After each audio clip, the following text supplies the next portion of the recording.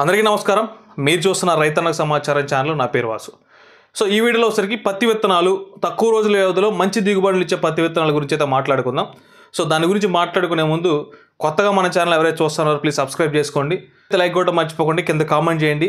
మీ ఏరియాలో పత్తి విత్తనాల్లో మంచి దిగుబడులు ఇచ్చే వెరైటీలు షార్ట్ డ్యూరేషన్ అంటే తక్కువ రోజుల వ్యవధి కానీ లాంగ్ డ్యూరేషన్ అంటే ఎక్కువ రోజుల వరకు అంటే ఎక్కువ రోజుల వరకు కూడా పత్తి తీయడానికి అనుకూలంగా ఉన్న వెరైటీలు కూడా కింద కామెంట్ చేసే ప్రయత్నం చేయండి. సో నేను నెక్స్ట్ వీడియోలో లాంగ్ డ్యూరేషన్ వీడియో పత్తి విత్తనాల గురించి అయితే ఖచ్చితంగా మీకు వీడియో చేస్తా. సో దీంట్లో మనకి తక్కువ రోజులు వ్యవధులు మనం పత్తి వేసిన తర్వాత ఒకటి లేదా రెండు సార్లలో మనం పత్తిని తీసిన తర్వాత అంటే మనకి పన్నెండు నుంచి పదిహేను క్వింటాలు దిగుబడి ఈ రోజుల్లోనే రావాలి. దాంతోపాటు మళ్ళీ రెండో పంట వేసుకోవడానికి అనుకూలంగా ఉండే పత్తి విత్తనాల గురించి అయితే చెప్పే ప్రయత్నం చేస్తా. దాంట్లో మొట్టమొదటిగా వచ్చేసరికి ఈ సంవత్సరం రైతుల నుంచి మంచి ఒపీనియన్ అంటే వేసిన తర్వాత ఈ వెరైటీ బాగుంది అని చెప్పి అనుకున్న వెరైటీల గురించి ఈ వీడియోలో ఉంటుంది. దాంట్లో మొదటి వచ్చేసరికి రాశి సీడ్స్ వాళ్ళది షిఫ్ట్ అనే వెరైటీ. సో ఈ మధ్య కాలంలో కూడా మీరు చాలా వీడియోలు చూసుంటారు తర్వాత చాలామంది రైతులు మీకు చెప్పుంటారు లేదంటే కంపెనీ వాళ్ళు కూడా మీకు తెలియజేసి ఉంటారు సో దాంట్లో భాగంగా రాశి వాళ్ళది షిఫ్ట్ అనే వెరైటీ మంచి దిగుబడులు ఇచ్చింది దాంతోపాటుగా మనకి తక్కువ రోజుల వ్యవధిలో మనం అంటే సమ్మర్ కాటన్ కింద కూడా దీన్ని వేసుకునే వేసుకునే వెరైటీ అనమాట ఆకు అనేది చాలా తక్కువ ఉంటుంది మా మొక్క మీద.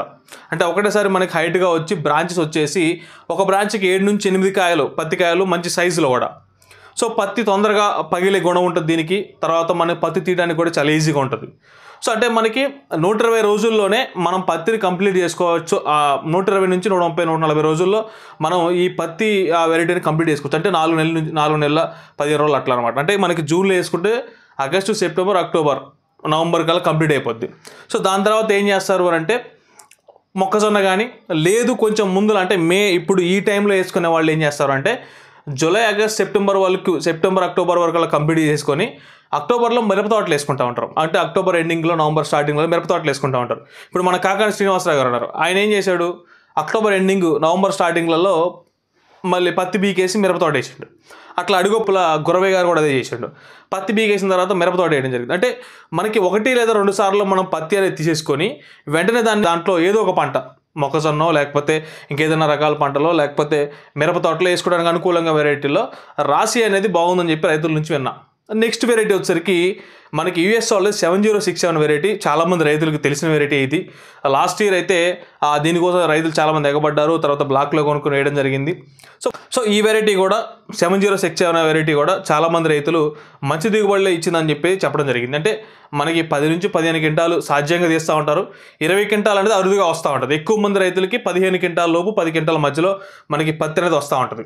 సో రేటు కూడా చాలా తక్కువనే ఉంది కాబట్టి పెద్దగా ఆసక్తి చూపట్ల పత్తి వైపు కూడా రైతులు కానీ వాస్తవంగా ఈ సంవత్సరం మిరప ధరలు కూడా తగ్గిపోవడం వల్ల పత్తి వైపు కూడా రైతులు వెళ్ళే అవకాశం ఉంది ఎంతో కొంత.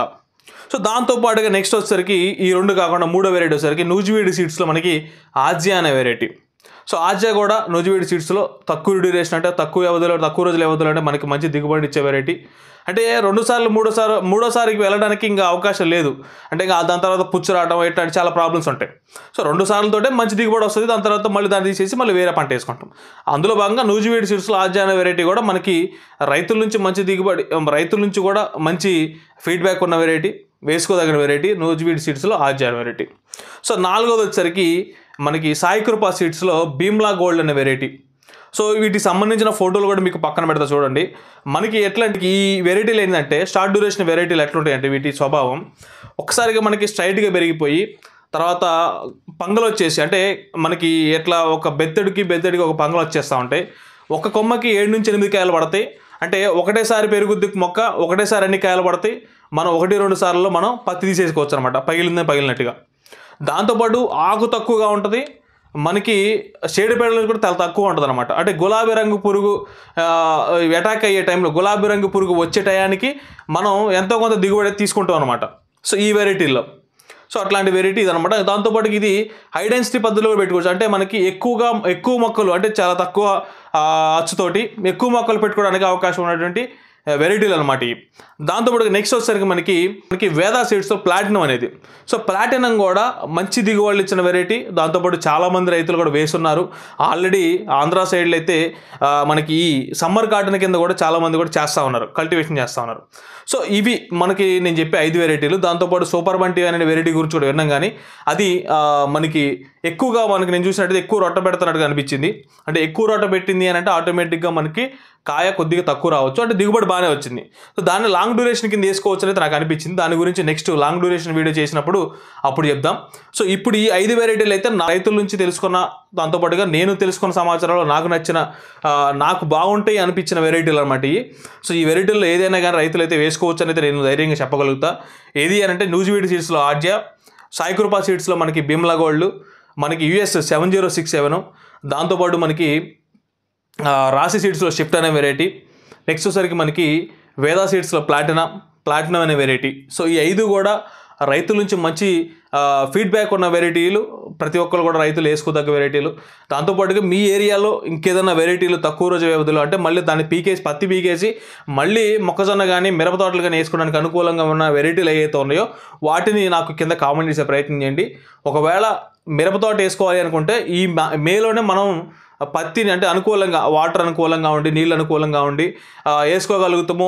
మనకి ఎండ తీవ్రత కూడా తగ్గింది అనుకున్నప్పుడు వేసుకోవడానికి అవకాశం ఉంటుంది. కానీ ఇంత ఎండల్లో మనం పత్తి వేసినా కానీ చాలా ఇబ్బందులు పడతాం. పోయిన సంవత్సరం కూడా చాలామంది కూడా ఆకంతా ముడచకపోయి పత్తి అనేది మొక్క ఎదుగుదల లేక అక్కడికక్కడ ఎరుపుగా ఆరిపోయి మొక్క అంతా కూడా ఇబ్బందులు పడ్డ పరిస్థితులు మనం చూసాం సో అట్లా అట్లాంటి వాతావరణం లేకుండా కొంచెం మనకు అనుకూలంగా వాతావరణం ఏరియాలు అయితే వేసుకోవచ్చు.